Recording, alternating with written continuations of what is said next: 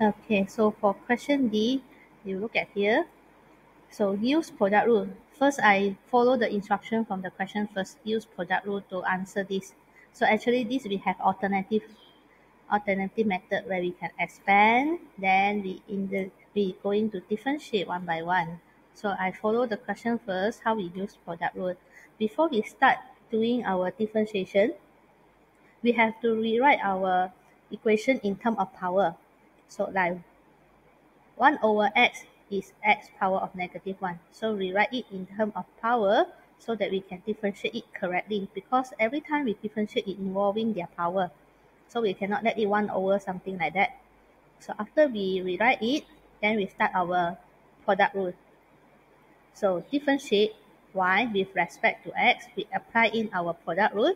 So our product rule will be salin depan, differentiate yang belakang tambah salin yang belakang differentiate yang depan. So we set out our product rule is like this. Copy whichever function that you need. So copy copy function depan, uh, function depan rational function, uh, nanti differentiate function belakang ni. And copy yang belakang ni, nanti kita differentiate yang depan. Okay, so sekarang saya differentiate yang depan. Uh, so differentiate, kita buat differentiate part. So differentiate yang belakang ni differentiate satu dapat kosong, differentiate constant dapat kosong. Kalau kita nak differentiate sebiji x, maka kita punya formula ialah power turun depan jadi positif. Then power tolak satu. So negative 1 tolak satu jadi negative 2. Okay, differentiate 1 it is 0. Differentiate 1 it is 0. So nothing here. So differentiate negative x negative 1. Power turun depan negative negative jadi positif. Then power tolak satu. So siap yang bahagian sini. Kemudian kita, ha, yang bahagian sini adalah differentiate yang depan.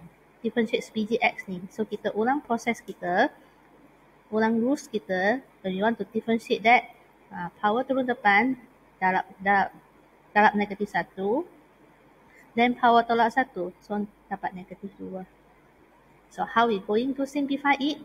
So this is, we done our differentiation already. How we simplify it to our final answer we going to factorize.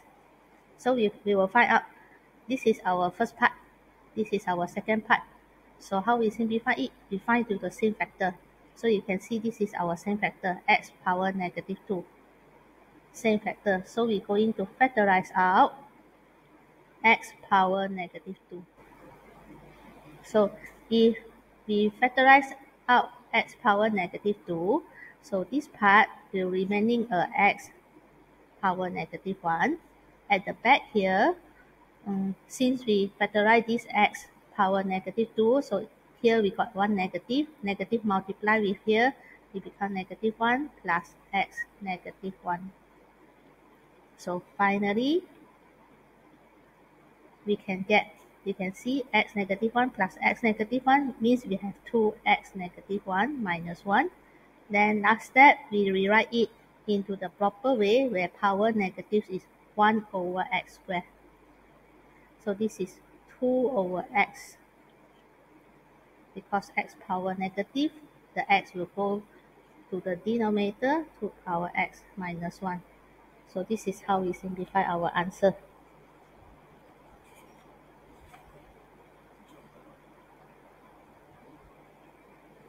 So I have another alternative way if the question doesn't tell us say use product rule. So actually this question we can do it in simple where we're going to expand it. So for this y, we're going to expand it. y will equal to 1 over x. When you expand it, then minus 1 over x squared. So we rewrite it in the power form, it will x power negative 1 minus x power negative 2. Then when we differentiate, we can use our rule straight away where power multiply, power turun ke depan negatif, power tolak satu jadi negatif dua, power turun ke depan jadi positif dua, then power tolak satu, power tolak satu jadi negatif tiga. So we write back our answer because power negative, we put back it into the denominator part. So both of them will give us same answer. Okay, but we have to see our question. This question requires us to product rule, then we perform our product rule. If the question just say differentiate, then we will find a simple way to do. So this method will be accept, accepted.